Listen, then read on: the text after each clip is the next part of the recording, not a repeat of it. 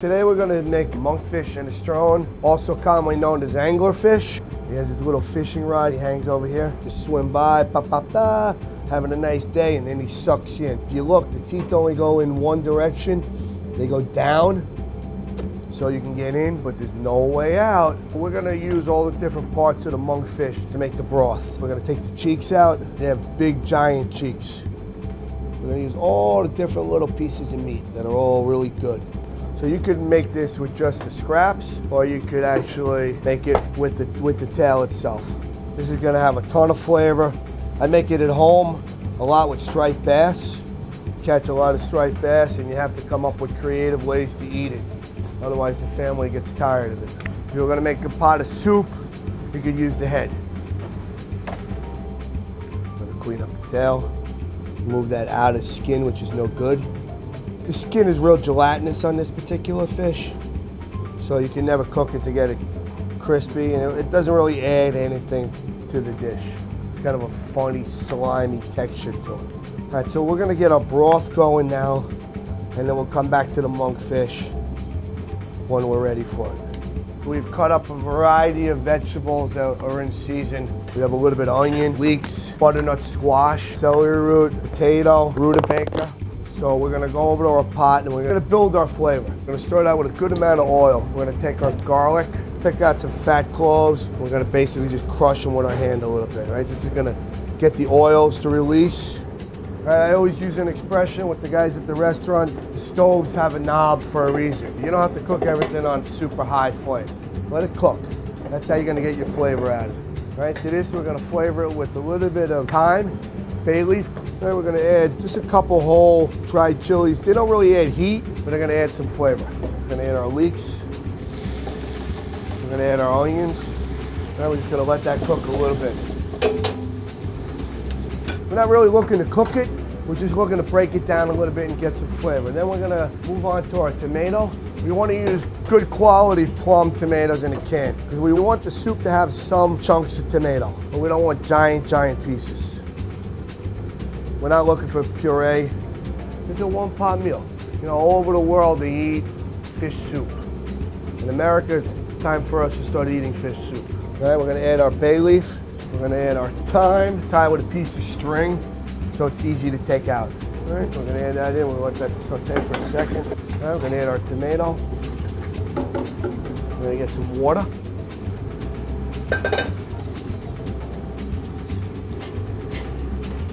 Yeah, I want to keep tasting it because I want to make sure that I have enough flavoring and seasoning in, right?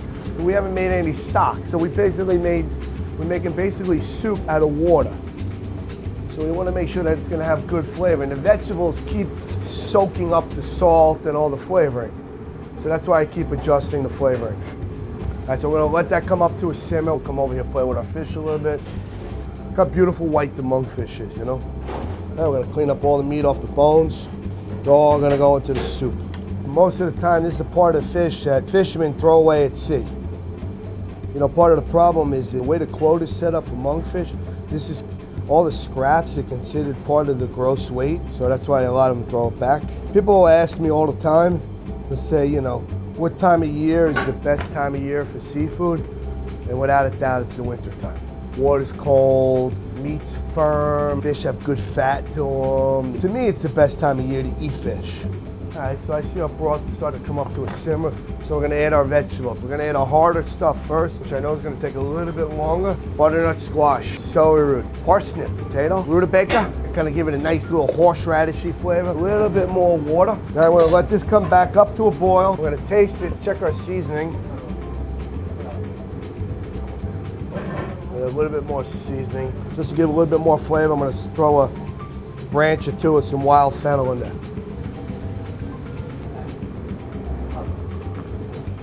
Now it's got a lot of flavor.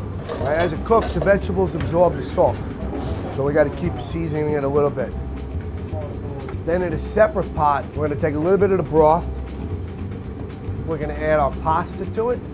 What we're gonna do is we're gonna get a couple different kinds of pasta shapes together. This is all stuff that we make here at the, at the restaurant.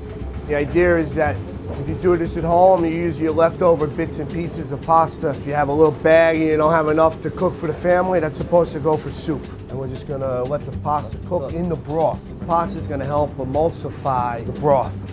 We should let it simmer till all the vegetables are tender, approximately 20 to 30 minutes. We're gonna add a little bit of olive oil. We're gonna add a little bit more seasoning because the pasta's gonna soak up some of the seasoning. Now we're gonna keep stirring, all right? We want that starch from the pasta to help thicken the broth. Now you can already see, you see the difference between that broth and that broth. And that's from the starch. And you're gonna serve it like family style. You could add the pasta right into the broth. The only problem that is if you have leftover, sometimes the pasta will soak up all the liquid. We don't want to ha have it soak up all the liquid. And you could add the fish at that particular moment. We're gonna season our fish really good. I'm gonna add my fish. I'm gonna taste it, see what the seasoning is. Oh my God. All right, we're gonna check our pasta, see where our pasta is. Use another minute to cook. It's a little white on the inside still. We're gonna turn the fire off. We're gonna cover it for three minutes. That's it. Then we're gonna serve it. We like to let it rest a minute. This way everything kind of relaxes, right? Now that it's rested, you can see how the broth gotten real creamy and cooking the pasta in it, right? The only other things that are required for this to be really good are a good loaf of bread, finished with raw olive oil. Don't be cheap with the oil. No cheese, right? Because it's fish. Minestrone of monkfish.